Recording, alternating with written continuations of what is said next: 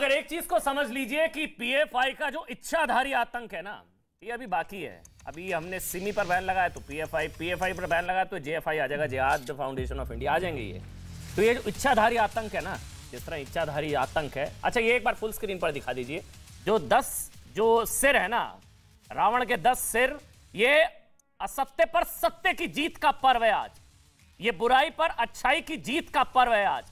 ये कट्टरता पर राष्ट्रवाद की जीत का पर्व है आज। आतंकवाद, जिहाद, धर्मांतरण, कट्टरता, क्रूरता, षड्यंत्र, देशद्रोह, दंगा, गजवा प्लान, दो वाला गजवा प्लान, वो देखिए आखिरी वाली मुंडी, आखिरी वाला जो सर नज़र आ रहा है। और हिंदू हत्या, गजवा प्लान, हिंदू हत्या, दंगा, देशद्रोह, आतंकवाद, जिहाद, धर्मांतरण, कट्टरता, क्रूरता और षड्यंत्र। आज खुशी का पल है, पीएफआई दहन। आतंकवाद, जिहाद, धर्मांतरण, पीएफआई दहन। देखिए, आज भारत ने उस साजिश पर सर्जिकल स्ट्राइक की है, जिसमें भारत को इस्लामिक स्टेट बनाने के लिए दो हज़ार सैंतालीस की डेट दी गई थी। याद करिए, आज भारत पीएफआई आतंक के उस रावण का दहन कर दिया है, जिसका आतंकवाद, डायरेक्ट जिहाद, भारत को इस्लामिक स्टेट बनाने की साजिश, सीरियल हिंदू हत्याएँ, सीरियल हिंदू हत्याएँ, हिंदू विरोधी दंगा जैसे कई सिर, कई चेहरे। आज हो गया पीएफआई दहन। नहीं है कई लोगों को सहन। पीएफआई पर बैन, भारत को इस्लामिक स्टेट बनाने की साजिश पर सर्जिकल स्ट्राइक है। इसका मतलब समझिए एक एक शब्द को बहुत ध्यान से समझिएगा। क्या मतलब है इसका? भारत को इस्लामिक स्टेट बनाने की साजिश पर यह सर्जिकल स्ट्राइक है। नंबर एक। नंबर दो, पीएफआई पर बैन, हिंदू विरोधी दंगों की सीरियल साजिशों पर सर्जिकल स्ट्राइक। नंबर तीन, पीएफआई पर ban, serial Hindu killing, serial Hindu killing पर सर्जिकल स्ट्राइक। नंबर चार, ध्यान से सुनिएगा, पीएफआई पर बैन पीएफआई और आतंकी संगठनों के नेटवर्क की कमर तोड़ना है। नेटवर्क की कमर तोड़ना। पाँच, पीएफआई पर बैन जबरन धर्मांतरण और लव जेहाद की साजिश पर सर्जिकल स्ट्राइक है। नंबर छह, पीएफआई पर बैन मुसलमानों को कट्टरपंथी बनाने की साजिश पर यह सर्जिकल स्ट्राइक है। कट्टरता पर है, क्रूरता पर है। पीएफआई पर बैन विदेशों से भारत विरोधी आतंकी फंडिंग पर सर्जिकल स्ट्राइक इस खबर को हल्के में मत लीजिएगा। चुनौती दी जा रही थी। बैन करके दिखाओ, बैन करके दिखाओ। कर दिया बैन। पीएफआई पर बैन। भारत के टुकड़े टुकड़े प्लान पर सर्जिकल स्ट्राइक है। और आज पीएफआई पर बैन उन हिंदुओं को भी सच्ची श्रद्धांजलि है, जिन्हें पीएफआई से जुड़े दरिंदों ने सिर्फ़ इसलिए, ये चेहरे देखिए, ये कोई नहीं दिखाएगा आपको। ये सिर्फ़ देश ने झुकने देंगे में ये आप देख रहे हैं, कोई नहीं दिखाएगा ये चीज़। आपको हर कोई पीएफआई पर बैन पीएफआई पर बैन। नाम ले रहा हूँ, ध्यान से सुनिएगा। कोई बोलता ना, क्यों बैन कर दिया, क्यों बैन कर दिया? टुकड़े कर करके मारा इन लोगों को। संजीत वी रामलिंगम नंदू, अभिमन्यु बिबिन शरत, आर, रुद्रेश, प्रवीण पुजारी, शशि कुमार, ये सारे नाम देखिए आप। आज इन सबको सच्ची श्रद्धांजलि है। इस कट्टरपंथी इस्लामिक संगठन पर बैन बहुत ज़रूरी था। बैन से पहले बर्बाद किया और फिर बैन किया। एक खास वर्ग में डर पैदा करना चाहते थे, इसलिए इन सबको देखिए। शशि कुमार, प्रवीण नेतारू को सोचिए, इन लोगों ने मारा था प्रवीण नेतारू। प्रवीण पुजारी आर रुद्रेश, सारथ, अभिमन्यु, उनके चेहरे देखिए क्या गलती थी। धर्म की वजह से मार दिया। इस्लामिक कट्टरता, धर्म की वजह से इन सबको मारा। नंदू, संजीत सबसे पहले संजीत का नाम लेना बहुत ज़रूरी। कुछ लोगों को याद नहीं होगा, आज इस तीन तस्वीरों को देखकर मुझे नहीं पता, अभी भी कोई पीएफआई को बचाने की हिम्मत करेगा, क्योंकि आपके परिवार के सदस्य, हमारे परिवार के सदस्य हो सकते थे, ये सारे जितने। अब इनका धर्म की वजह से इन सबको मारा गया। सीरियल हिंदू विरोधी संगठन इस्लामिक कट्टरपंथी आतंकियों से जुड़ा संगठन PFI poisonous front of India इससे जुड़े दरिंदे इन हिंदुओं की हत्या करने के लिए यह कहकर उकसाते थे कि इनकी हत्या मजहबी कर्तव्य है। मजहबी कर्तव्य है। लेकिन सोचिए, जिस पीएफआई का दिल्ली, कानपुर, बेंगलुरु समेत कई दंगों में नाम आ चुका है, सीए विरोधी हिंसा में पीएफआई का पर्दाफाश हो चुका है। देश भर में धर्मांतरण के रैकेट में जिस पीएफआई की साजिश सामने आ चुकी है, जो पीएफआई दो हज़ार सैंतालीस तक भारत को मुस्लिम राष्ट्र बनाने के मिशन पर काम कर रही है, उसे वोट बैंक के लिए तुष्टीकरण का डिस्काउंट मिल रहा है। जी हाँ, तुष्टिकरण वाला डिस्काउंट मिल रहा है। सबूत मांगे जा रहे हैं। सबूत मांगे जा रहे हैं। भरोसा नहीं होगा, सबूत मांगे जा रहे हैं। क्यों बैन कर दिया? सबूत दिखाइए। ललन सिंह, जेडीयू के। सबूत मांग रहे हैं, सबूत दिखाओ, क्यों बैन कर दिया? ये लश्कर पर भी कार्रवाई होगी। जैसा सर्जिकल स्ट्राइक के सबूत मांगे थे, पीएफआई पर बैन के सबूत क्यों कर दिया भाई बैन? कई संगठन है जो पीएफआई की आरएसएस से तुलना कर रहे हैं। कई संगठन है जो पीएफआई बहन से बुरी तरह तिल मिलाए हुए हैं। तो सवाल ये, सोचिए ना, जब रावण दहन होता है तो सबसे पहले आसपास के जो दो भाई होते हैं ना, कुंभकर्ण, मेघनाथ, उनको बड़ा दर्द होता है कि मेरे भाई को जला दिया। आज ये पीएफआई दहन रावण जलता है तो कुंभकर्ण मेघनाथ को कष्ट होगा। आज ये पीएफआई दहन हो रहा है, ये पीएफआई के आतंक का रावण दहन दर्द हो रहा है कई लोगों को। डिबेट करते हैं, बहुत बड़ी खबर है, इस चीज़ को समझिए, राष्ट्रीय सुरक्षा के लिहाज से आज का दिन ऐतिहासिक दिन है। हो सकता है दो हज़ार सैंतालीस का बुलेटिन में कर रहा होता तो पता नहीं क्या क्या कह रहा होता, लेकिन सोचिए, नहीं आई वो तारीख, उससे पहले लग गया ban. Radhika Khera, Congress party की प्रवक्ता है। राधिका जी बहुत बहुत स्वागत आपका। संगीत रागी हैं, संघ विचारक है, डेली यूनिवर्सिटी में प्रोफेसर हैं, शादाब हैं शादाब जी बहुत बहुत स्वागत आपका। शादाब चौहान है पीस पार्टी के नेता हैं। मेरे साथ यास्मीन फारूकी जी हैं एसडीपीआई की नेशनल जनरल सेक्रेटरी हैं। यास्मीन जी बहुत बहुत स्वागत आपका। और अश्वनी उपाध्याय जी हैं आप सबका बहुत बहुत स्वागत। लेकिन सबसे पहले मैं शुरुआत राधिका जी आप ही से कर रहा हूँ। ये कांग्रेस पार्टी का जयराम रमेश जी ने एक ये स्टेटमेंट जारी किया है। ये स्टेटमेंट कांग्रेस पार्टी की तरह हाँ, ये रहा। ये स्टेटमेंट जारी किया गया। सही। इस स्टेटमेंट में कहीं पीएफआई का ज़िक्र नहीं है। बहुत सही है। कहीं नहीं मतलब मैं हैरान हुआ। राधिका जी मेरे को जब कहा कि आपने। कि मैं हैरान एक मिनट में सवाल हाँ मैं हैरान हुआ। मुझे लगा इम्पॉसिबल है। पीएफआई कट्टरपंथी संगठन आतंकी नेटवर्क से तुलना। चलिए आरएसएस पीएफआई की तुलना वो आपका पॉलिटिकल नैरेटिव हो सकता है उस पर मैं नहीं जा रहा हूँ।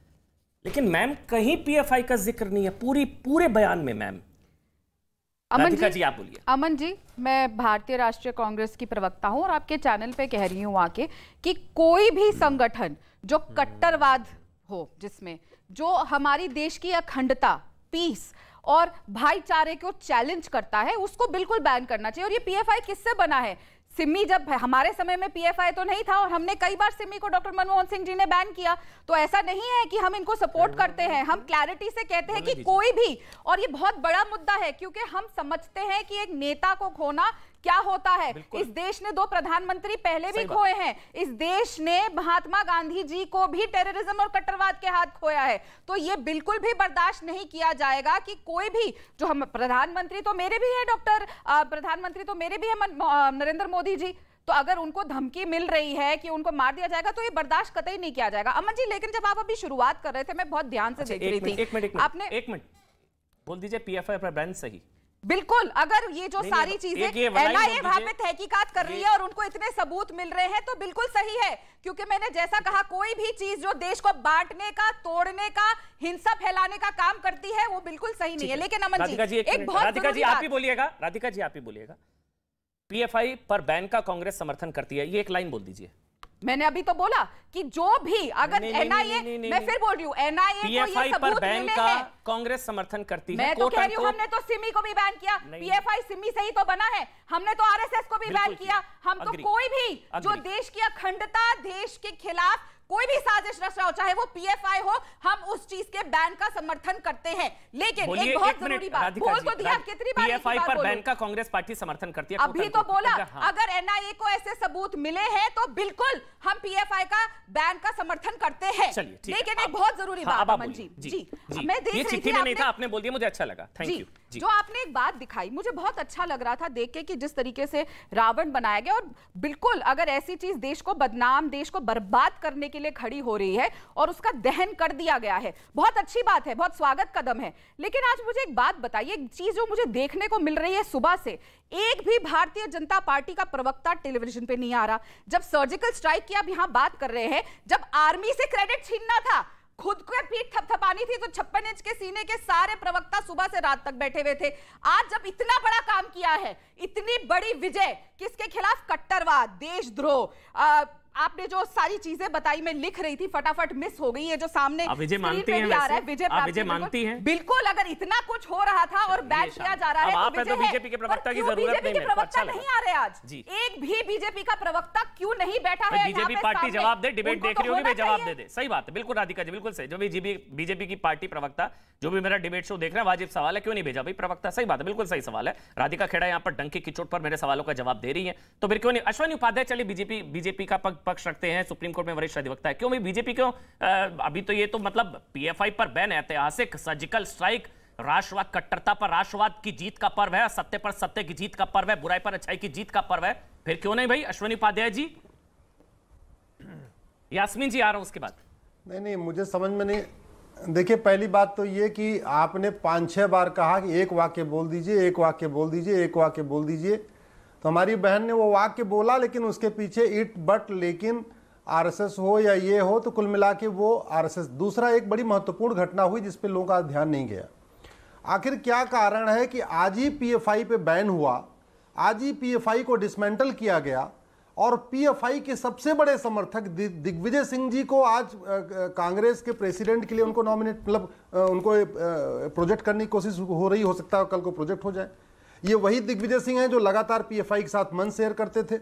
ये वही दिग्विजय सिंह हैं जो जो कि आपका बटला हाउस इनकाउंटर को फेक बताते हैं मुंबई हमले को फेक बताते हैं ओसामा को जी बताते हैं दाऊद को जी बताते हैं और क्या नहीं नहीं मैं इस मैं मैंने कहा ना मैं तो एक भारतीय नागरिक के नाते बस ये समझ रहा हूँ कि पीएफआई खत्म हुआ और पीएफआई का सबसे बड़ा समर्थक कांग्रेस को टेक ओवर करने जा रहा है कांग्रेस का अध्यक्ष बनने जा रहा है।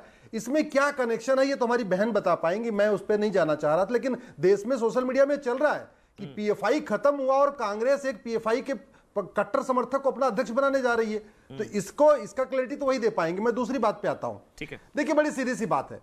इस देश में सुख शांति संविधान की वजह से नहीं है। हम्म। यह भारत सेकुलर संविधान की वजह से नहीं है। यह भारत सेकुलर हिंदुओं की वजह से है। जो 90 परसेंट थे 78 परसेंट आ गए। और जहाँ जहाँ हिंदू खत्म हो चुके हैं वहाँ सेकुलरिज्म काम नहीं करता। कश्मीर में सेकुलरिज्म काम नहीं करता लद्दाख में लक्षद्वीप में सेकुलरिज्म काम नहीं करता। जिन नौ राज्यों में हिंदू तो हिंदू खत्म हो गए वहाँ सेकुलरिज्म काम नहीं करता। अश्वनी भाई लेकिन आज तो हिंदू मुसलमान नहीं नहीं मैं आ रहा हूँ विषय पे आ रहा हूँ आपके कट्टरता का इस्लाम से कोई लेना तो देना हिंदू मुसलमान टॉपिक हिंदू मुसलमान तो है नहीं ना भैया आज। कोई कौन सा मुसलमान राष्ट्रवादी बार बार ये बार बार बार बार आरएसएस को सुनिए हाँ बोलिए बोलिए ये एक तो सेकुलर सेकुलरिज्म की चादर ओढ़ के जो बार बार आरएसएस को कोसने की बात कर रही हैं तो। मैं ये कहना चाहूँगा सोमालिया अफ़गानिस्तान पाकिस्तान बांग्लादेश 55 देशों में रोज बम फूट रहे हैं। वहाँ ना आरएसएस है न विश्व हिंदू परिषद है न बजरंग दल है न बीजेपी है ना कोई है। ठीक है। तो इस देश में जो भाईचारा बढ़ा हुआ है वो हिंदुओं के कारण है। अब मैं आता हूँ विषय पे। ये जो पीएफआई है हम्म। अगर ये आतंकवादी संगठन है और है ये जिहाद फैलाता है ये कौन सा लब जिहाद करता है, धर्मांतरण करवाता है, विदेशी फंडिंग लेता है, मदरसे चला रहा है ऐसी ऐसी किताबें फैला रहा है, जहाँ पे कहा जा रहा है कि भारत में जो मुस्लिम, जो मुस्लिम नहीं जो इस्लाम को नहीं मानता वो काफिर है काफिरों को खत्म करो काफिरों को कन्वर्ट कराओ सब कुछ फैलाता है। हाँ। उसके खिल, उसके खिलाफ बोलने में इतना इट बट मैंने उम्मीद करी थी ये वकील है अब भाजपा के प्रवक्ता नहीं है तो ये व्हाट्सएप फैक्ट्री का डेटा नहीं लेकर आते तो उनको पता होता रिसर्च किया होता है। आपके पास टीम भी होगी जूनियर्स होंगे जो रिसर्च करके दे देंगे। जब मध्य प्रदेश के मुख्यमंत्री थे दिग्विजय सिंह जी तो वो पहले इंसान थे जिन्होंने कहा था कि सिम्मी पे बैन लगना चाहिए और उसके बाद जब हमारी सरकार सेंटर में थी तो हमने सिम्मी पे बैन लगाया था। वही सिम्मी जिसको जो आगे जाके आज पीएफआई में बनी है। हमारे समय में पीएफआई नहीं था तो ये आधा अधूरा व्हाट्सएप यूनिवर्सिटी का ज्ञान मत बांटिए। और ये किसके साथ देश को कंपेयर कर रहे हैं? सोमालिया पाकिस्तान बांग्लादेश क्या तो- हिंदुस्तान की ये तो हालत राधिका जी आज इतना अच्छा लग रहा है मैं तो कोई सवाल ही नहीं बचे। आपने कहा you support PFI ban chapter he close हो गया आज तो। मैं और क्या सवाल आप यू सपोर्ट पीएफआई बैन मैं चैप्टर क्लोज इससे आगे तो सवाल ही नहीं अब आप डिबेट में जो भी पूछ सकती हैं। मैं यास्मीन जी आपके पास आ रहा हूँ फिर जुबराज संगीत रागी और आपके पास भी होंगे शादा पहले यास्मीन जी पीएफआई पर बैन सही या नहीं? यास्मीन जी। मुझे अब इस इस पे हम डिस्कस ही क्यों कर रहे हैं? मेरी समझ में नहीं आ रहा पीएफआई पे बैन लग गया उन लोगों ने डिज़ोल्व कर दिया। कहानी ख़त्म। अब इस चीज़ को इतनी बात बहस करना आपस में एक दूसरे के ख़िलाफ़ बोलना इन चीज़ों का तो मेरे लिए कोई मायने नहीं सपोर्ट पीएफआई बैन बहुत शानदार। आज मेरी डिबेट थी बहुत अच्छी बात है। पूरी बात सुन लीजिए। पूरी बात सुन लीजिए। अच्छा जी बात सुन लीजिए। जी जी। पूरी बात सुन लीजिए। बहुत ही अच्छी बात है। पीएफआई पे बैन लग गया। बहुत अच्छी बात है। आप बार बार मुझसे सवाल करेंगे वो उससे बेहतर है। मैं पहले ही एक जवाब दे दूँ। मैं बहुत खुश हूँ कि पीएफआई पे बैन लग गया। एक पूरी कहानी ख़त्म हुई जो रोज़ चैनल्स पे बैठ के कहानी हो रही थी मेरे ख्याल से कल से वो ख़त्म हो जाएगी। और कोर्ट में का कहानी शुरू हो जाएगी। अब कोर्ट की कहानी कोई बताएगा नहीं ना डिस्कस करेगा ना एंड आएगा वो कोई बात नहीं होगी। तो मेरे ख्याल से अब इस पर एक दूसरे पे लाछन करना वो करना ये ये बात ही नहीं ख़त्म हो जाना चाहिए। P I P F I पे बैन लग गया बात ख़त्म हो गई। जो गलत थे उनको गलत साबित करिए आप। अपन लोगों को तो साबित करेंगे ना अब अपन। तब और ज़्यादा दुगने खुश अच्छा, होंगे कि बैन लग गया साबित हो गया। कोर्ट में साबित। हुआ तो मैं दुगनी खुश होंगी। ठीक है सबूत और साबित। मैं दुगनी खुश हूँ संगीत रागी फिर मैं पे भी एतराज़ जी आ रहा हूँ संगीत रागी। उस बात पे भी एतराज़ है। जी, जी, आपको बिल्कुल कि किसी चीज़ को आप चाहते हैं बिना साबित किए ही काम चल जाए। नहीं नहीं साबित हुआ है मैं एक बात साबित कहना चाहती हूँ मैं माफ़ी चाहती हूँ क्योंकि मुझे यास्मीन जी, साबित हुआ है। मुझे थोड़ी मेरे कोई प्रॉब्लम हो गई है? मेरे। कोई प्रॉब्लम हो गई है? मैं माफ़ी अच्छा। चाहती हूँ नहीं इसलिए नहीं बस ये सुनकर चले जाइए यास्मीन जी साबित हुआ है। साबित हुआ है। 2016 नहीं, में 41 पीएफआई के लोगों का कन्विक्शन हुआ था। और 1300 लोगों पर कम्युनल इन, so इन पर केसेस हैं। देर हो रही है। तेरह मुझे ही सौ- क्यों सुनाना है आपको? नहीं नहीं मैं क्योंकि आपने कहा साबित करिए साबित हुआ है। मैं इसलिए कह रहा था जी आपको जाना कोई पर- दिक्कत नहीं है में जी। मेरी परेशानी अच्छा जी मैं समझता हूँ। कोई दिक्कत नहीं है यास्मीन जी आप जा सकते हैं। आपको इजाज़त है कोई दिक्कत नहीं है। अब मैं शुभ्रास्ता और उससे पहले एक बार संगीत रागी जल्दी से। संगीत रागी सीधा सा सवाल बार है भाई आरएसएस पर भी बैन करो ना फिर। पीएफआई पर बैन कर दिया आरएसएस पर भी करो। पीएफआई और आरएसएस एक बराबर एक समान। जवाब दीजिए। देखिए अमन जी आ, मुझे आपने शुरुआत बहुत अच्छी की थी। और इनफैक्ट यही चीज़ें मैं उसको उस मुद्दे को उठाना चाहता था। कांग्रेस के जयराम रमेश ने पीएफआई को एक कम्युनल ऑर्गेनाइजेशन कहा है। वो टेररिस्ट ऑर्गेनाइजेशन कहने से बचते रहे हैं। वो ये नहीं बता पा रहे हैं ये कहने से इनकार कर रहे हैं कि ये एक ऐसा ऑर्गेनाइजेशन है जो देश के खिलाफ काम करता है आईएसआईएस जैसे मोहम्मद जो बाहर के टेररिस्ट ऑर्गेनाइजेशन है पीएफआई का जनरल सेक्रेटरी जो खुलेआम जो है वो हुजी के समर्थन में बात करता है तालिबान में बात किए तालिबान के समर्थन में उतरता है जो जिनके जो आईएसआईएस के लिए लड़ाके भेजता है वैसे को टेररिस्ट ऑर्गेनाइजेशन नहीं कहा है उन्होंने कम्युनल ऑर्गेनाइजेशन बोला PFI का नाम नहीं लिया। दूसरी बात दूसरी बात क्यों नहीं कहा है मैं इसका ज़िक्र आपको करना हाँ है। बताइए केरला में कांग्रेस पार्टी जब चुनाव लड़ रही थी विधानसभा का तो पीएफआई उनके समर्थन में थी। आपको याद है कर्नाटक का चुनाव? आपको याद है? सीतारमैया ने पीएफआई के जितने जो अरेस्ट लोग थे उनको उनको माफीनामा दिया था उनको छुड़ाया था। कांग्रेस पार्टी केरला के चुनाव में कर्नाटक के चुनाव में उससे समर्थन लिया था पीएफआई से। तो आज कैसे कहेंगे? दिग्विजय सिंह का आप देखिए। देखिए पार्टी और सरकार लेकिन दोनों दो बातें कहती है। सुन लीजिए एक बात एक के खिलाफ है किसी भी धर्म की। देखिए वो कह रहे हैं ना चाहे आरएसएस चाहे चाहे सांप्रदाय चाहे देखिए जो है पीएफआई देखिए पीएफआई की आरएसएस से तुलना करके पीएफआई का कद बढ़ा दिया मुझे लग रहा है। देखिए हाँ जल्दी फिर मैं शुभ्रास्ता जी आ रहा हूँ। हाँ। पीएफआई सिर्फ़ सांप्रदायिकता तक सीमित नहीं है साहब। ये सिर्फ़ ये नहीं कह रहा है सांप्रदायिकता तक ठीक। ये देश इस देश को वो इस्लामिक कंट्री इस्लामाइजेशन चाहता है। वो सिर्फ़ ये नहीं वो नहीं चाहता है, है कि ये है ये। ये ये ये ये देश के टुकड़े हो जाएँ। इस टुकड़े से ज़्यादा ये पूरा देश एक पाकिस्तान बन गया था एक नया पाकिस्तान बनाने की बात है। ठीक है ठीक है। शुभ्रास्ता जी बार बार विरोध ये किया जा रहा है कि भाई ये सांप्रदायिक है। ये मेजोरिटी कम्युनलिज्म है। पीएफआई पर बैन आरएसएस पे भी बैन लगना चाहिए। ये सारे जो आप, आपने सुना ही होगा जितने भी आप सबूत दिखाओ। अरे हाँ जेडीयू के ललन सिंह वो कह रहे सबूत दिखाओ। पीएफआई पर प्रतिबंध किस आधार पर लगाया? उनको सबूत चाहिए। शिवराज जी। ललन जी को तो सिंपल सी चीज़ है कि बिहार में जो डॉक्यूमेंट्स आए और जिन डॉक्यूमेंट्स के आधार पर भी एनआईए ने इन्वेस्टिगेशन किया ललन जी को चाहिए कि कुछ भी मीडिया में बोलने के पहले एक बार अपने ही स्टेट के अपने ही ऑर्गेनाइजेशन के डॉक्यूमेंट्स पढ़ लें। जेडीयू तो बहुत बड़ी पार्टी है ना अब तो नेशनल लेवल पर भी प्रधानमंत्री पद की दावेदारी ठोकने वाली है। तो अपने स्टेट के डॉक्यूमेंट्स तो ललन जी पढ़ ही सकते हैं। मैं विनम्रता से उनसे कहूँगी कि एक बार पढ़ लें डॉक्यूमेंट्स। पहली चीज़। दूसरी चीज़ जो लोग आरएसएस और पीएफआई की तुलना कर रहे हैं मैं उनसे पूछना चाहती हूँ और चैलेंज करना चाहती हूँ उनको जिनको जिनको शौक है कहने का। आरएसएस घोषित तौर पे अपने आप को एक राष्ट्रवादी ऑर्गेनाइजेशन कहती है। राष्ट्रवाद के के साथ साथ उनकी मुहिम चलती है। क्या पीएफआई ने आज तक कभी राष्ट्रवादी होने का दावा किया? क्या पीएफआई ने हमेशा इस्लामिक रेडिकलाइजेशन की बात नहीं की? क्या पीएफआई की रैलियों में केवल और केवल एक पंथ जो कि मुस्लिम है जो कि इस्लाम है क्या उसकी बात नहीं होती रही?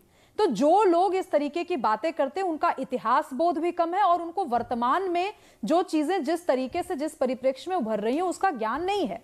आपको आपको आरएसएस के हिंदुत्ववादी विचारधारा से समस्या हो सकती है। आप उसका विरोध कीजिए। मुझे नहीं लगता कि आरएसएस के विरोध में उतरने वाले लोगों को का गला काटने की बात की गई हो। लेकिन यहाँ पीएफआई से संबद्ध लोगों ने लव जिहाद के नाम पे जितने केसेस हुए हैं झारखंड में एक जो रिसेंट केस हुआ हम भूल नहीं सकते हैं। तो ये दो ऑर्गेनाइजेशंस की तुलना अपने आप में हास्यास्पद है और उससे ज़्यादा खतरनाक है। ये एक स्ट्रैटेजी के तहत की जाती है। खैर इन बातों पर मैं बहुत ज़्यादा टिप्पणी इसलिए नहीं करना चाहती क्योंकि ये बातें अब पास्ट में हो गई। हम्म। राधिका जी ने बिल्कुल ठीक कहा कि कांग्रेस ने बैन किया सिमी को। लेकिन ये राधिका जी के ही कथन है कि सिमी के बाद पीएफआई बनी। इसका मतलब कि तब की सरकार को जब आज के कांग्रेस के प्रवक्ताओं को यह बात पता है इसका मतलब कल की सरकार को भी पता था कि पीएफ सीएम सिमी के बैन होने के बाद उन सभी लोगों ने जिनको सरकार ने खुली छूट दे रखी थी या खुली छूट दे रखी थी मैं इतना कॉन्स्पिरसी थ्योरी में नहीं जाऊँगी। हो सकता है सरकार ने उस उस, उस समय इतने सिलसिलेवार तरीके से काम नहीं किया जिस तरीके से इस सरकार ने काम किया। उनको नहीं लगा होगा कि ये लोग इतने खतरनाक है कि ये दोबारा एक ऑर्गेनाइजेशन बनाएँगे। बट ऑर्गेनाइजेशन तो बनी। 2010 में टीजे जोसेफ का केस आता है। ये एक ऐसा केस था अमन जी। जी। इच्छाधारी आतंक। ये एक ऐसा केस था जी हम लोग कॉलेज में थे। रूप बदलता हम लोग कॉलेज में थे और दिल दहल गया था। बिल्कुल सही बिल्कुल सही। एक मिनट में 2010 से लेकर के 2022 की यात्रा हमने देखी। दिखा दीजिए एक बार शादाब जी को दिखा दीजिए उनसे मैं सवाल ले लेता हूँ। एक बार शादाब को दिखा दीजिए स्क्रीन पर। शादाब चेहरा क्यों उतरा हुआ है? जी। शादाब जी चेहरा क्यों उतरा हुआ है? मुस्कुराइए आज तो विजय पर्व है अच्छा, कट्टरता पर राष्ट्रवाद की जीत का पर्व है। आप तो खुद परेशान होंगे पीएफआई से। दादा भाई। चलिए अब मैं कंप्लीट कर कंप्लीट हाँ, मुस्कुरा कर बोलिए ऐसे मुँह नहीं उतरा हुआ ऐसे नहीं। सब देखिए राधिका जी मुस्कुरा रही सब मुस्कुरा रहे ऐसे नहीं। आज तो बड़ा दिन है। मेरी मेरी मेरी मुस्कुरा सुनिए सुनिए जी जी जी। चाहे तो जब भी जब भी कभी नफरत को रोका जाएगा चाहे वो संघ के रूप में होगी या किसी दूसरे रूप में होगी जब भी किसी बलात्कारी को सजा दी जाएगी चाहे वो उसका जाति धर्म कुछ भी होगा जब भी किसी मजलूम को इंसाफ मिलेगा चाहे उसका कोई जाति धर्म होगा शादाब चौहान उसके साथ खड़ा होगा ये सवाल करना मुस्कुराइए नहीं मुस्कुराइए हंसीए लेटिए रोइए ये सब मत करिए अमन भाई आप बड़े चैनल के एंकर ये सब छोटी बातें मत करिए। मेरे मुस्कुराना ना मुस्कुराना नहीं न्याय के साथ खड़ा होना सबसे महत्वपूर्ण और नेशनल इंटीग्रिटी को हमने हमेशा के साथ है। कि नेशनल इंटीग्रिटी के साथ कोई कॉम्प्रोमाइज नहीं। सुनिए पूरी बात। अच्छा लगा ये। आज आज सब सब बदले बदले जी।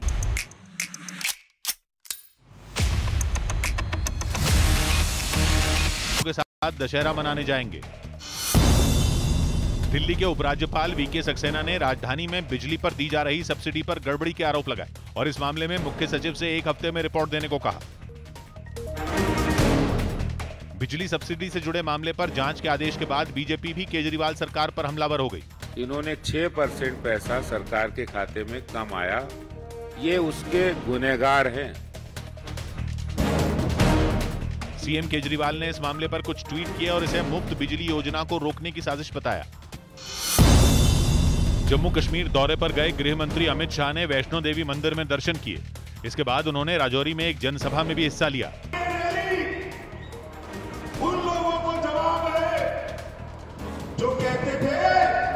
धारा 370 जाएगी तो खून की नदियाँ बह जाएगी। दिल्ली के टैगोर गार्डन इलाके में पुलिस ने एक गोदाम पर छापेमारी की और वहाँ से करीब 300 किलोग्राम पटाखे जब्त कर लिए। बैन के बावजूद पटाखे रखने और बेचने के आरोप में पुलिस ने वहाँ से एक आदमी को गिरफ़्तार कर लिया। महाराष्ट्र के शिरडी में साईं बाबा के मंदिर में तीन दिनों तक चलने वाला विजयदशमी उत्सव शुरू हो गया।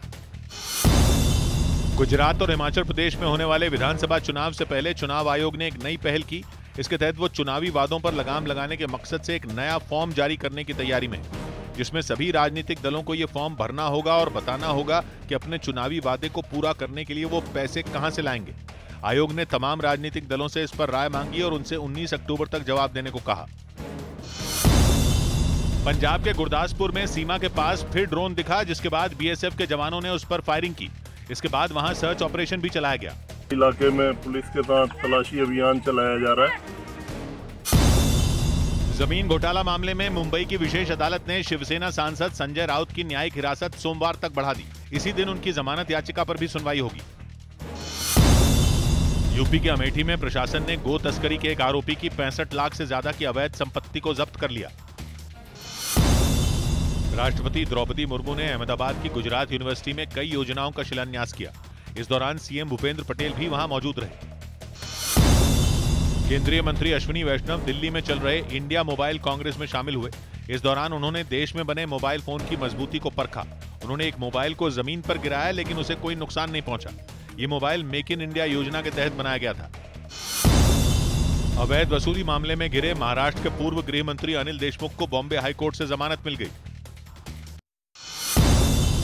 दिल्ली की पटियाला हाउस कोर्ट ने गिरफ्त में आए पीएफआई के चार सदस्यों को तीन दिन की पुलिस हिरासत में भेज दिया। गृह मंत्री अमित शाह और उत्तराखंड के सीएम पुष्कर सिंह धामी ने उत्तरकाशी में बर्फीले तूफ़ान से हुए हादसे पर दुख जताया।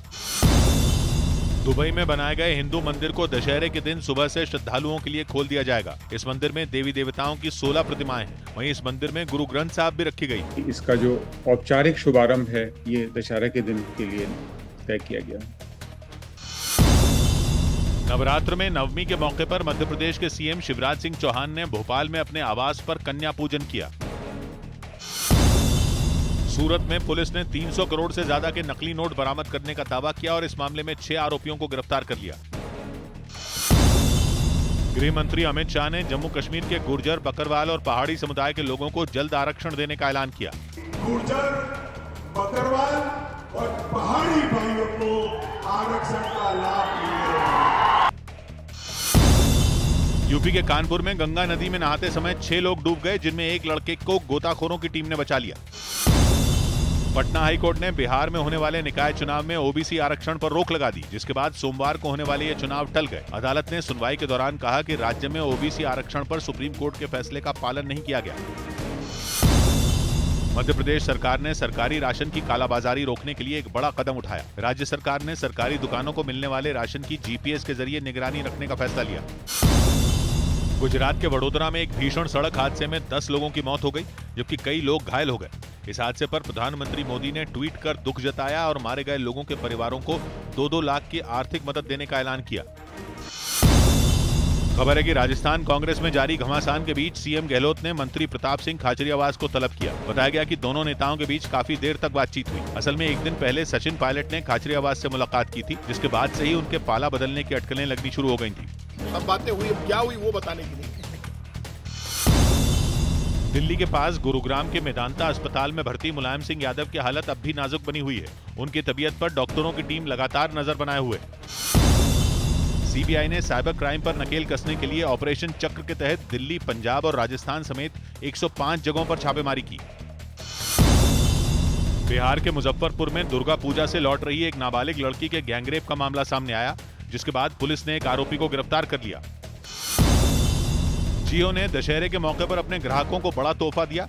सुबह से दिल्ली, मुंबई, कोलकाता और प्रधानमंत्री के लोकसभा क्षेत्र वाराणसी में जियो ट्रू 5G सर्विस के ट्रायल की शुरुआत होगी। खबर है कि रक्षा मंत्री राजनाथ सिंह ने यूपी के फैजाबाद कैंट का नाम बदलकर अयोध्या कैंट करने की मंजूरी दे दी। महाराष्ट्र के पुणे में एक तेज रफ्तार बेकाबू कार सड़क किनारे बनी दुकानों में घुस गई। इस हादसे में कार में बैठे दो लोगों की मौत हो गई। प्रधानमंत्री मोदी और यूक्रेन के राष्ट्रपति जेलेंस्की के बीच फ़ोन पर बात हुई। इस दौरान प्रधानमंत्री ने बातचीत के ज़रिए जंग को खत्म करने की अपील दोहराई। दिल्ली के पास गाजियाबाद में एक मकान में एलईडी टीवी में धमाका हो गया, जिसमें एक बच्चा समेत चार लोग घायल हो गए। यूपी के आजमगढ़ में पुलिस और बदमाश के बीच एक मुठभेड़ हुई, जिसमें पुलिस ने लूट के मामले में फरार एक आरोपी को गिरफ़्तार कर लिया। उत्तराखंड के बाजपुर में एक तेज रफ्तार डंपर बेकाबू होकर सड़क के किनारे गड्ढे में गिर गया। बताया गया कि डंपर वहाँ अवैध खनन के काम में लगा हुआ था, जिसकी वजह से इस हादसे के बाद उसका ड्राइवर मौके से फरार हो गया। उत्तराखंड के उत्तरकाशी में अचानक बर्फीला तूफ़ान आ गया, जिससे द्रौपदी का डांडा टू पर्वत पर गए, चौंतीस ट्रेनी पर्वतारोही समेत बयालीस लोग फंस गए। इनमें चार लोगों के शवों को बरामद कर लिया गया। ये प्रशिक्षणार्थी अपने जो केंद्र है पर्वतारोहण केंद्र है वहाँ से एक मिशन पे थे। चमोली में सिख समुदाय के पवित्र स्थल हेमकुंड साहिब में बर्फबारी हुई। सोमवार को हेमकुंड साहिब के कपाट सर्दियों के लिए बंद कर दिए जाएँगे। पिथौरागढ़ में चीन सीमा के पास दारमा घाटी में भी काफ़ी बर्फबारी हुई। मौसम बदलने से वहाँ अचानक तापमान में आई गिरावट ने सुरक्षा बल की चुनौतियाँ बढ़ा दी। प्रधानमंत्री मोदी सुबह हिमाचल प्रदेश के बिलासपुर में बने एम्स अस्पताल का उद्घाटन करेंगे। इस मौके पर वो कुल्लू दशहरा महोत्सव में भी शामिल होंगे। देश के यशस्वी प्रधानमंत्री नरेंद्र मोदी जी हिमाचल प्रदेश देवभूमि हिमाचल प्रदेश में पधार रहे हैं। रक्षा मंत्री राजनाथ सिंह अपने उत्तराखंड दौरे पर देहरादून पहुँच गए। वो चमोली में सीमा पर तैनात जवानों के साथ दशहरा मनाने जाएँगे। दिल्ली के उपराज्यपाल वीके सक्सेना ने राजधानी में बिजली पर दी जा रही सब्सिडी पर गड़बड़ी के आरोप लगाए और इस मामले में मुख्य सचिव से एक हफ़्ते में रिपोर्ट देने को कहा। बिजली सब्सिडी से जुड़े मामले पर जाँच के आदेश के बाद बीजेपी भी केजरीवाल सरकार पर हमलावर हो गई।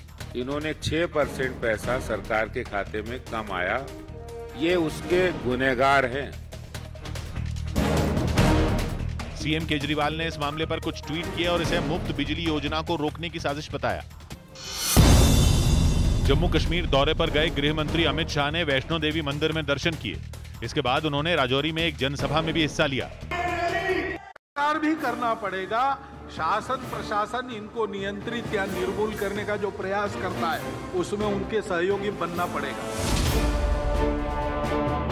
जनसंख्या की एक समग्र नीति बने, वो सब पर समान रूप से लागू हो एक बार बनने के बाद किसी को छूट न मिले और समाज इसको स्वीकार करने, कर ले, इसलिए उसके लिए मन बनाकर उसको लाया जाए कि जनसंख्या में प्रमाण का भी संतुलन चाहिए।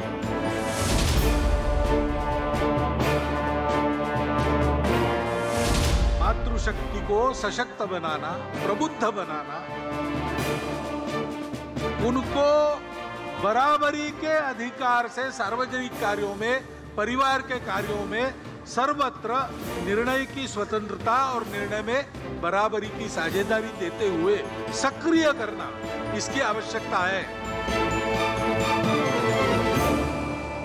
आप अपना- पर बैन अपने के साथ शब्द- हैं। हाँ, अपने शब्द मत डालिए मैं कह रहा हूँ मेरी अब बात पूरी होने देंगे तो मैं अपनी बात कहूँगा ना नेशनल इंटीग्रिटी के साथ कोई कॉम्प्रोमाइज ना हमारा कभी था और ना है ना होगा। हाँ। जब आईसीस की बात आई थी 2014 से हमने कहा कि बैन के साथ है या नहीं? है इतना ज्ञान को दे रहे हैं? सीधा बताइए ना पॉइंट पर आइए ना। पीएफआई पर बैन के साथ है या ना? बात खत्म।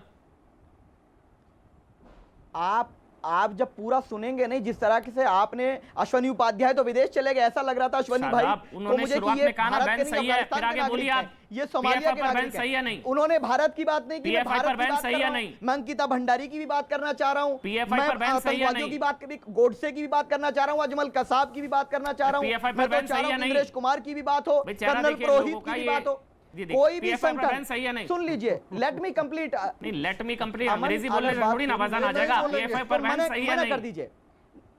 ये ये सब नाटक नहीं ये सब नाटक में मैं विश्वास नहीं रखता जो आप कर रहे हो। आपकी टीआरपी के लिए आपकी बात नहीं बोलूँगा टीआरपी नहीं मैं पीएफआई की टीआरपी तो नहीं पीएफआई की टीआरपी। आपको चिंता होगी प्रभु मेरे को नहीं है। आप पीएफआई की आपको पीएफआई आपका आपको पीएफआई से फंड आ रहा है। अच्छा, अमन मुझे चोपड़ा को पीएफआई तो से फंड आ रहा है हूँ फंडिंग करने के लिए। मेरे को तो आपका चेहरा उतरा आपकी फंडिंग रुक गई है। बात मत करिए आप। चेहरा तो मैं तो कह रहा हूँ बैन सही है। कितना मिल गया आप बोलिए बैन सही है। कितना मिला आया ना अमन चेहरे पर चोपड़ा मुस्कान बोलिए। बैन सही है। अरे अकाउंट में कितना है बताओ फंड आ रहा है वही कहेगा ना कि बैन सही नहीं है पैसा आपको मैं तो कह रहा हूँ बैन बिल्कुल सही है। शानदार? वो तो रावण है जिसको कितना जला पैसा दिया। मिला? पीएफआई से कितना पैसा मिला आपको? अगर मुझे मिलता प्रभु तो मैं खुश थोड़ी ना होता। एजेंडे पे मत चेहरा भारत के एजेंडे की बात करिए। हाँ सही है ये नहीं? एजेंडा आईसिस का है सही है नहीं? कि अगर कोई सही है नहीं? गलत करता है पीएफआई पर बैन सही है नहीं? किसी भी गलत व्यक्ति पर कार्रवाई सही। पीएफआई पर बैन किसी भी गलत व्यक्ति पर कार्रवाई करती और अदालत मुझे विश्वास है अदालत न्याय करेगा। अदालत न्याय करेगा दूध का दूध पानी का पानी गजवा हिंद होगा। पर कब? और किसी को अनुमति नहीं होनी चाहिए। कब? किसी को अनुमति नहीं होनी चाहिए कि भारत में नफरत फैलाने की। मैंने कहा ना पीएफआई ने काम बांट रखा है। कोई नहीं बब- कोई बोल के से काम बांट रखा नहीं है। लेकिन ऐसा नहीं है। मैंने आपको क्या 2047 वाला डॉक्यूमेंट पढ़ा था। वो कहे कि टीम अच्छा, जाके निंदा कर दो। ऐसा नहीं है उन्होंने पढ़ा नहीं है डॉक्यूमेंट लेकिन एक बार लंका दहन वाला वो एक बार फिर से दिखा दीजिए भाई पीएफआई का रावण मैं आ रहा हूँ रागी जी। देखिए एक बार फुल स्क्रीन पर दिखा दीजिए फिर मैं डिबेट शुरू करूँगा। आज जो है असत्य पर सत्य की जीत का पर्व है आज कट्टरता पर राष्ट्रवाद की जीत का पर्व है आज बुराई पर अच्छाई की जीत का पर्व है क्योंकि दशहरा से पहले पीएफआई दहन हो गया है। पीएफआई दहन नहीं हो रहा लोगों को सहन। जिस तरह से रावण के दस सिर है ना ये देखिए आप। गजवा प्लान 2047 वाला हिंदू हत्या दंगा देशद्रोह आतंकवाद जिहाद धर्मांतरण कट्टरता क्रूरता षड्यंत्र। रावण के दस सिर लेकिन ये स्ट्राइक हुई है। और ये स्ट्राइक अब रावण दहन दशहरा में होगा लेकिन पीएफआई दहन दशहरे से पहले पीएफआई दहन हो गया है। बोलिए रागी जी आप बोलना चाह रहे थे उसके बाद मैं राधिका आपके पास आऊँगा। आरएसएस वाले सवाल को लेकर। पहले आप रागी जी आप बोलिए क्या बोलना चाह रहे थे? मैं मैं इतना कह रहा था कि ये जो मूर्तियों का जो खंडित करने हाँ, का कल जो कल परंपरा है। ये अब बहुत आम हो रही है और देखिए तो ये रेडिकलाइज्ड मुसलमान मुस्लिम समाज का एक द्योतक हो गया है। और इन्हीं लोगों को, यही लोग यही लोग आक्रामक हैं। और यही लोग विक्टिम कार्ड खेलते हैं जाकर के कोई ऐसी साहब लेकिन जाकर तुलना के आप लोगों की पीएफआई से होती है। नहीं नहीं देखिए अब वो तो उनको जो करना है सत्तर साल में कांग्रेस पार्टी ने यही नैरेटिव जवाब दीजिए ना सारे नेता ए टू जी मैं देख रहा हूँ जितने कांग्रेस के भी नेता हैं के सुरेश जी। वो मैं मैं बताता हूँ क्यों वो करते हैं। मैं आपको बता रहा हूँ क्यों वो करते हैं। ललन सिंह है लालू उनको- प्रसाद यादव है सारे हैं पूरी पूरा ऑपोजिशन क्यों कर रहे महागठबंधन वो क्यों कर रहे हैं इसलिए कर रहे हैं कि ऐसा नहीं करने से उनको लगता है कि मुसलमानों का हम तुष्टिकरण नहीं करेंगे तो मुसलमानों का वोट नहीं। तुष्टिकरण? वो ये मान करके चिट्ठी सुनिए मिनट- सुनिए सुनिए सुनिए सुन एक मिनट एक मिनट एक मिनट ये बताना ज़रूरी है। मेरे हाथ में दो चिट्ठियाँ हैं सर। हम्म। जिन लोगों को लग रहा है पीएफआई का बचाव करने से मुसलमान खुश होंगे तो ये देखिए दो चिट्ठियाँ हैं। इसमें है ऑल इंडिया पसमानदा मुस्लिम महज पीएफआई पर भारत सरकार द्वारा लगाए गए प्रतिबंध का स्वागत करता है। ये वो कह रहा है कि सरकार तुम आगे बढ़ो मुसलमान तुम्हारे साथ है। पीएफआई पर प्रतिबंध पर सरकार तुम आगे बढ़ो मुसलमान तुम्हारे साथ। जी, ये दूसरा है statement of chairman all India Sufi Sajjadanashin council वो उनके शायद अध्यक्ष जी भी हमारे साथ हैं उनके पास भी मैं जाऊँगा। ये दो दो तो कहाँ से मुसलमान तो कह रहा आगे बढ़ो। देखिए देखिए अमन जी अमन जी एक चीज़ ध्यान रखिएगा हाँ। ये गलत फहमी में आप मत रहिएगा। सारे मुसलमान टेररिज्म को समर्थन नहीं देते हैं लेकिन एक बात बहुत जानी एक बहुत बड़ा हिस्सा है जो रेडिकल इस्लाम को समर्थन देता है और भारत की पॉलिटिकल पार्टियाँ जो है उनको सुन लीजिए मेरी बात माइनोरिटी पूरी बात में माइनॉरिटी के वोट के लिए पीएफआई को बचा रहे हैं। देखिए कांग्रेस ने यही तो किया था। कांग्रेस अच्छा। ने सोचा कि से हिंदू समाज 80 प्रतिशत जो है वो बटा हुआ रहता है। ये जाति के नाम पर बटे हुए रहेंगे भाषा के नाम पर बटे हुए हैं। हम 20 प्रतिशत मुसलमानों की पॉलिटिक्स कर लेते हैं 18 प्रतिशत मुसलमानों की पॉलिटिक्स कर लेते हैं। अब यही यही इनको उल्टा पड़ गया है ये मुसलमानों का वोट भी नहीं मिला और जो जाते हिंदू जातियाँ थी वो भी संगठित हो गई। आरोप से ज़्यादा पॉइंट मैं एक चीज़ समझता हूँ आपसे। मुझे समझाइएगा। आरएसएस पीएफआई एक समान। कैसे? आपका टाइम शुरू होता है मैं टाइमर तो चलाऊँगा लेकिन मेरे सवाल का जवाब दीजिएगा। आपके सवाल का भी जवाब दूँगी पीएफआई एक समान कैसे? राधिका जी। वो भी दूँगी और इस पे ऑर्डर से आऊँगी। क्योंकि बहुत आरोप लगाए गए हैं। सबसे पहले तो मैं बोलना चाहूँगी कि आप अमन जी देख रहे होंगे किस तरीके से भारत जोड़ो यात्रा का असर हो रहा है।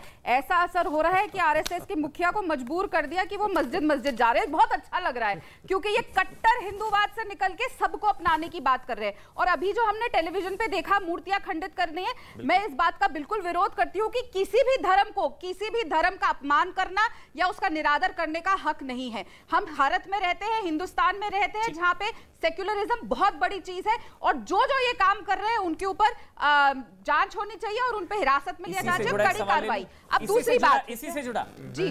पीएफआई पर बैन असल भारत जोड़ो। जी। ये मेरा आज का बिल्कुल, बिल्कुल, मैं तो कह रही हूँ। पीएफआई को तोड़ो असली भारत जोड़ो। तो आप कहती हैं पीएफआई को ये बैन है असल भारत जोड़ो है। बिल्कुल बैन बिल्कुल भारत जुड़ेगा ना अगर ऐसे देश में नफरत फैलाने वाले लोगों को बैन किया जाएगा। अब एक बात सुनाती हूँ कर्नाटक के मुख्यमंत्री बसवराज बुमई जी उनका बयान सुनिए। It was a long time demand by the people of this country by all political parties including the opposition like the Indian National Congress PFI was involved in anti national activities and violence तो इनके खुद मुखिया leaders अलग अलग मुख्यमंत्री बता रहे हैं कि कांग्रेस ये डिमांड कर रही थी। वो बात अलग है इनके मालवीय आईटी सेल वाले अलग ही कहानी बता रहे हैं। अब यहाँ पे शुभ्रष्टा जी कह रही थी कि हमने पीएफआई को बैन नहीं किया हमने ये नहीं अच्छा, किया। पे सात साल आठ साल लग गए मोदी जी को। पीएफआई को बैन करने में। क्यों इतना समय लगाया? पहले ही कर देना चाहिए था। हम तो देखिए ऑन रिकॉर्ड है की कब से मांग रहे हैं कि पीएफआई को बैन अब आरएसएस पे आते हैं। राधिका जी मेरा सवाल पे। एक मिनट आराम से।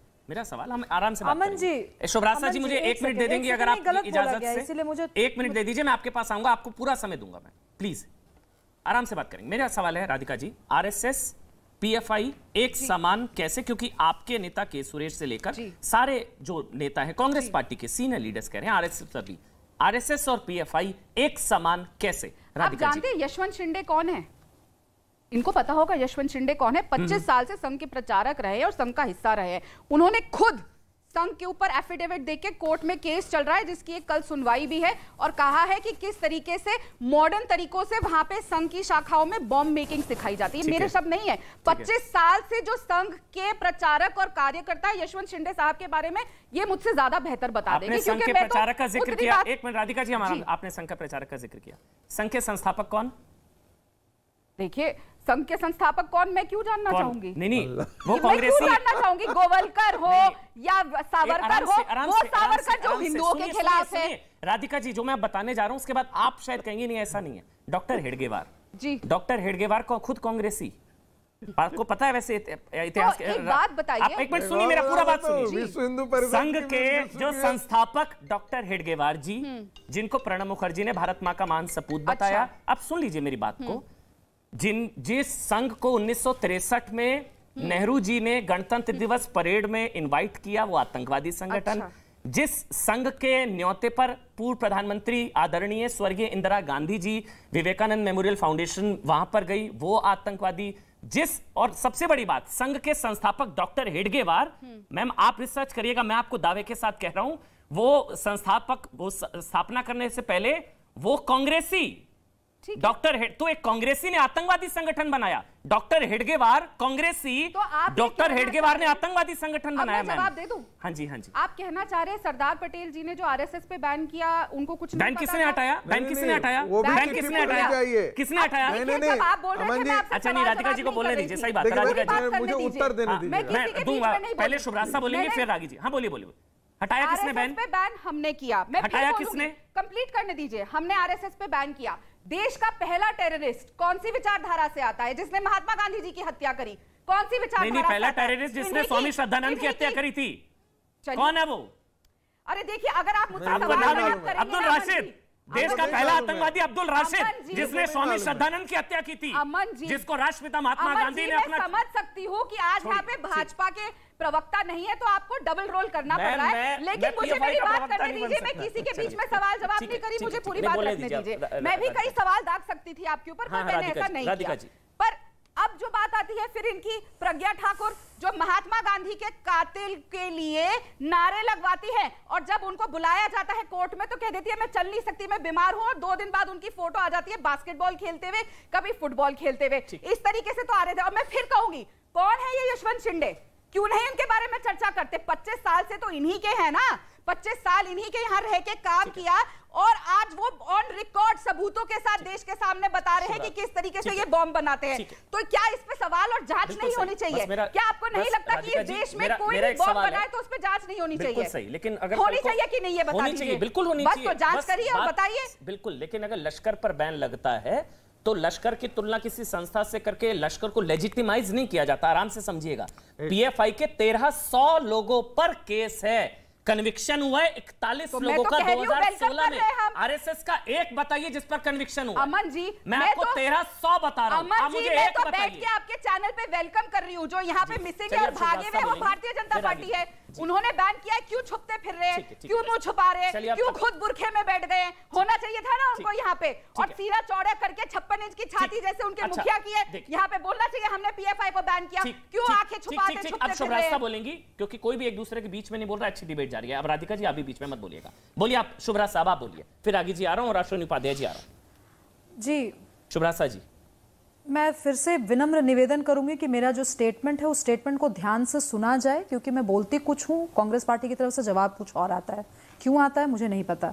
मैंने ये कभी नहीं कहा कि कांग्रेस ने पीएफआई बैन नहीं किया। मैंने कहा बहुत बहुत धन्यवाद कि कांग्रेस ने पीएफआई बैन किया। लेकिन यही कांग्रेस पार्टी के प्रवक्ता आज आज 22 साल के बाद कह रहे हैं, सॉरी 12 साल के बाद कह रहे हैं कि पीएफआई से ही सीएम सिमी बैन हुई, सॉरी, सिमी हमने बैन किया और सिमी बैन करने के बाद सिमी के ही लोगों ने पीएफआई बना ली। तो आपकी एजेंसियाँ झक मार रही थी उस समय। सरकार में आप बैठ के तफरी कर रहे थे, समोसे की पार्टी चला रहे थे। क्यों तब आप लोगों ने उन लोगों को अंदर नहीं किया? आज इस सरकार ने सिलसिलेवार तरीके से, क्रमवार तरीके से काम किया। पहले लीडरानों को अंदर भेजा। ताकि कोई भी दूसरी ऑर्गेनाइजेशन पैरेलल ऑर्गेनाइजेशन खड़ी नहीं हो सके।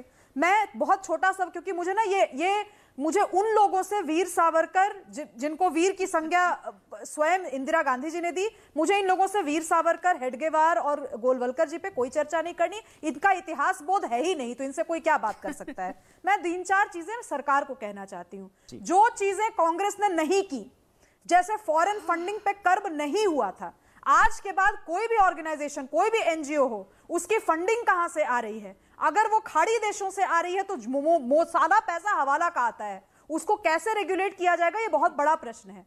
जो अकाउंट में डायरेक्ट ट्रांसफ़र होता है, उस पर तो बैन किया जा सकता है, उस पर बहुत कड़ी निगाह रखी जा सकती है। जिसका प्रतिफल ये हुआ है कि 2016 से लेकर के आज तक कोई भी आप टीयर टू डेलीगेशन में जाइए, अमन जी, आप तो स्वयं कितने सारे डेलीगेशन के पार्ट रहे हर ऑर्गेनाइजेशन का रोना यही होता है वेस्टर्न ऑर्गेनाइजेशन का। That Modi government is being really fastest it is like drying up all our funds of course funds will be dried but ये और ज़्यादा कर्ब होनी चाहिए फॉरेन फंडिंग पे।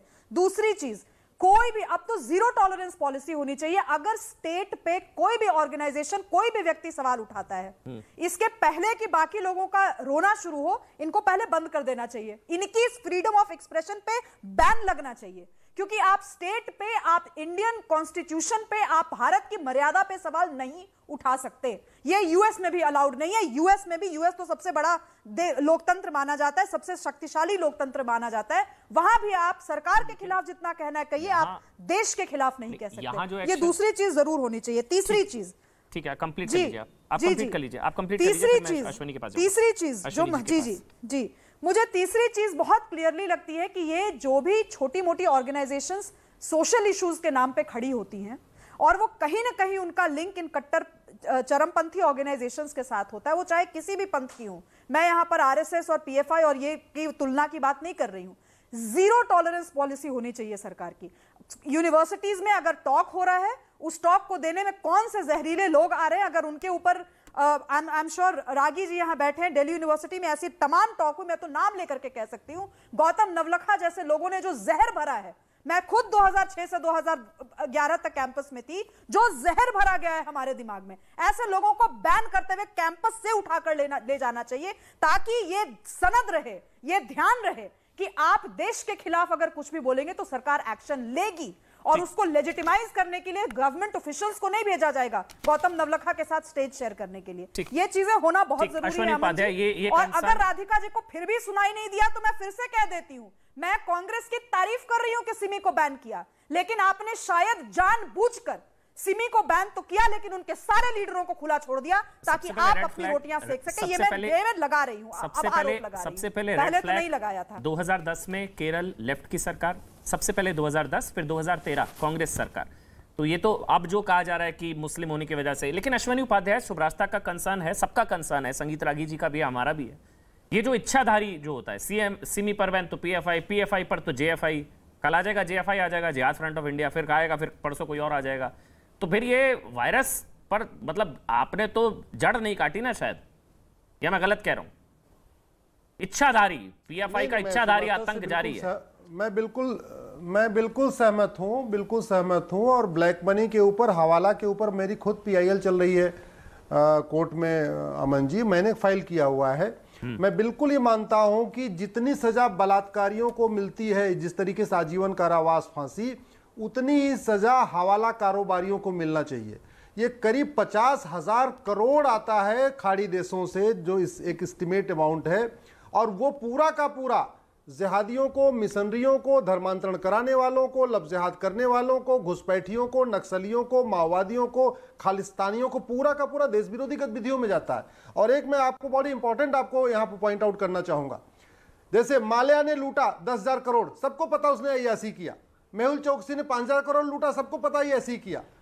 नीरव मोदी ने 2000 करोड़ लूटा सबको पता ही ऐसी किया। फार्म हाउस बनाया बंगलो बनाया अच्छा, लड़कियों के साथ घूमा ये किया डेटिंग किया चैटिंग किया।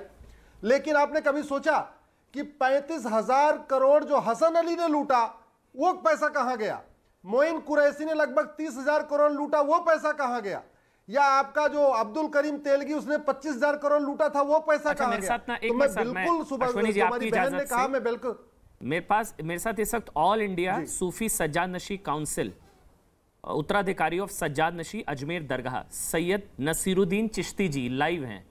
बहुत बहुत। सर मैंने स्टेटमेंट पढ़ी आपकी। Statement of chairman All India Sufi Sajjada Nashin Council ji.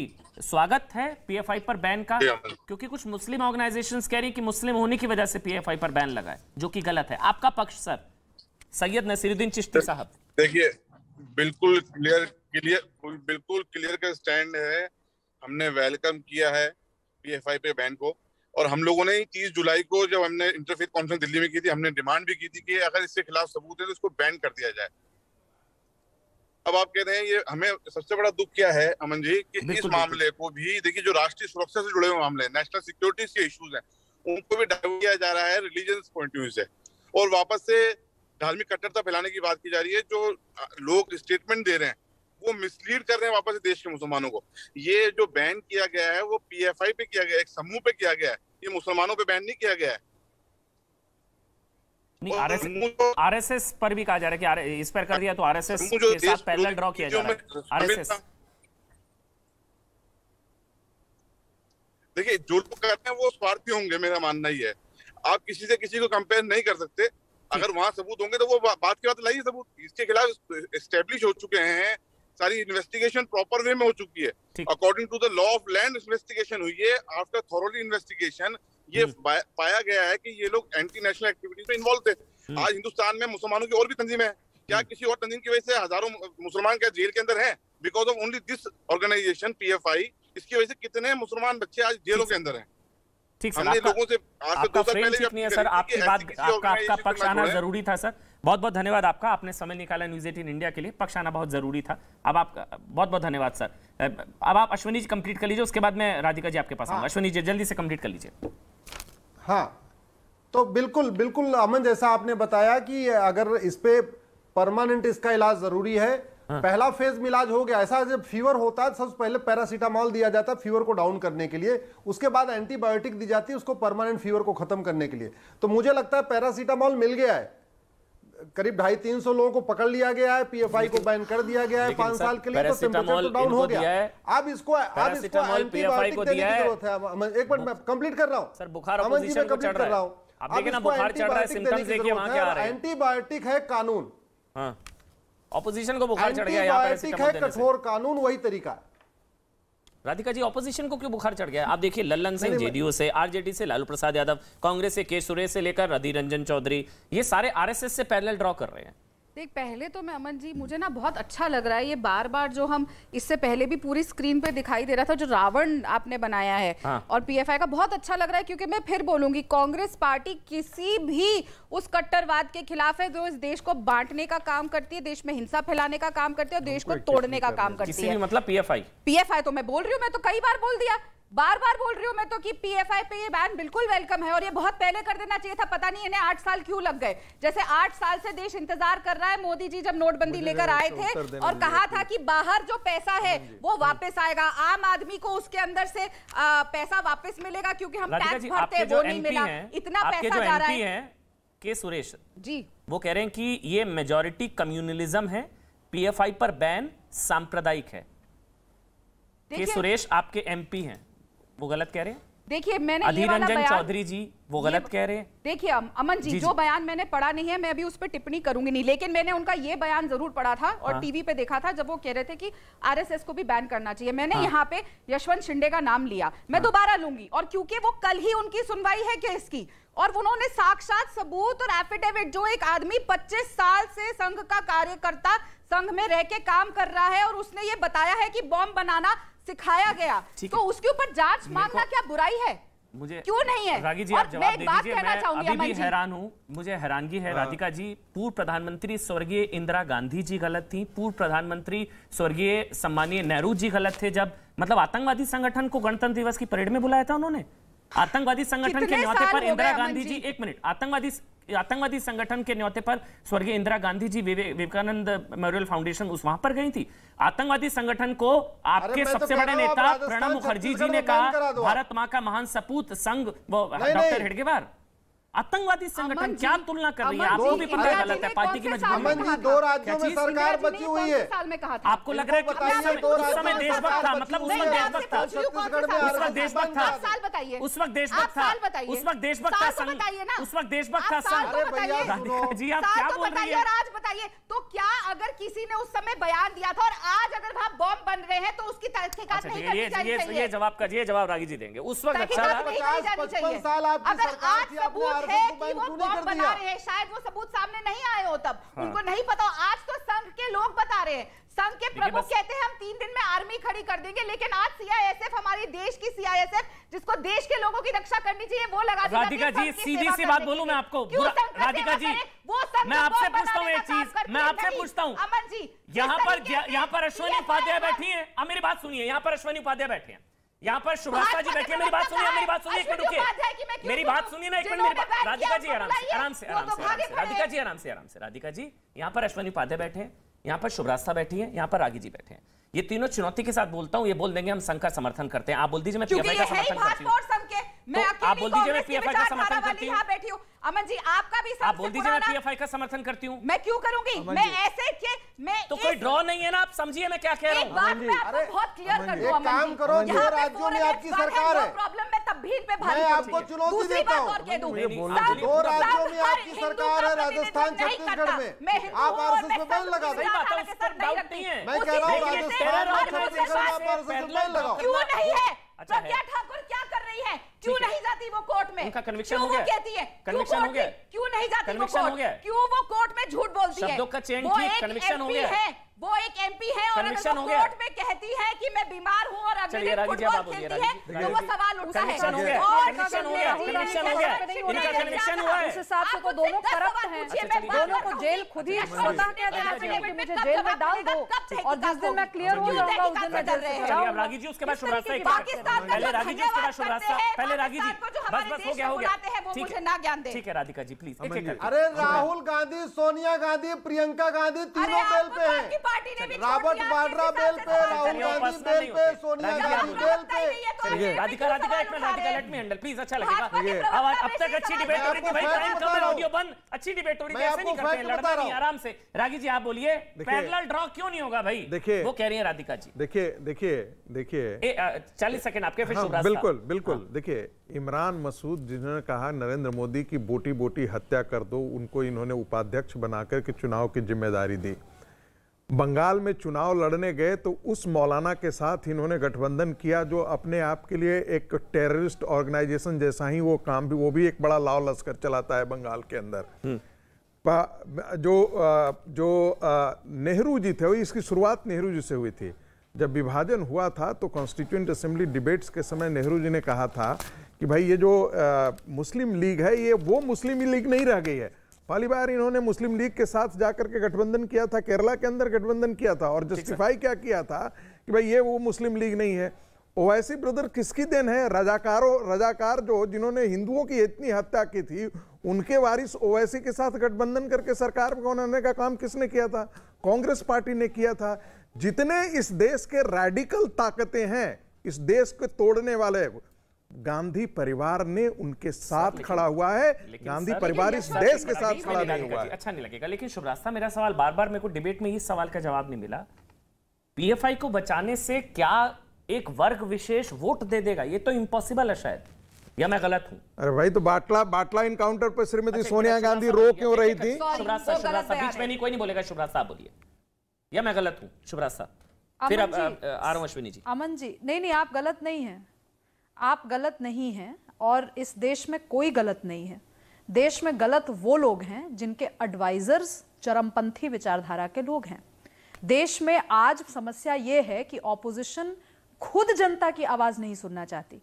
इस देश में अगर कांग्रेस अपने आप को ऑपोजिशन कहती है आप जिस तलखी से बात कर, करती है ये ऑर्गेनाइजेशन अगर इनके इनके ऊपर इनकी प्रशंसा करते हुए भी अगर इनसे दो सवाल पूछ लो तो जिस तलखी से बात